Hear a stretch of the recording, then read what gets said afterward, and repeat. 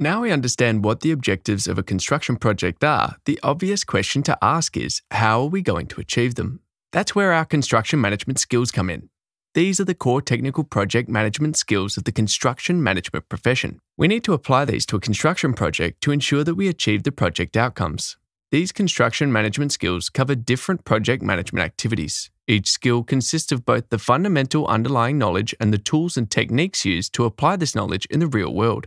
Importantly, these skills are applied across the project lifecycle, meaning a skill isn't used just in one phase of the construction project lifecycle.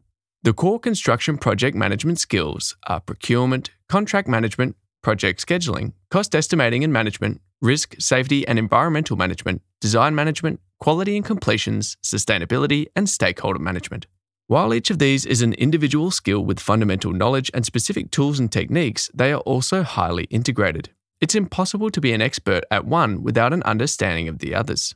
You can't be an expert at construction cost management if you have no understanding of project scheduling or contract management. The table on screen shows how these skills are used across the lifecycle of a construction project. It shows how even skills like design management, which we think is only needed during the design phase, is used from the beginning to the end of the project.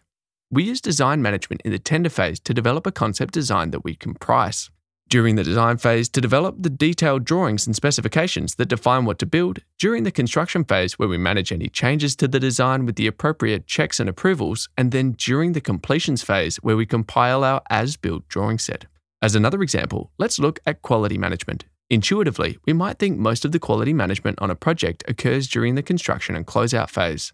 But that's not the case. We use quality management skills in the work winning phase to develop the initial quality approach in the pre construction phase to prepare the quality management plan, during the construction phase to complete inspection and testing, and during closeout to rectify defects and hand over the works. The focus of Construct IQ's construction project management courses is on each of these skills and equipping you with the fundamental domain knowledge and tools and techniques to master and then apply the skill. In the next section of the course, we are going to focus on introducing you to each of these different skills.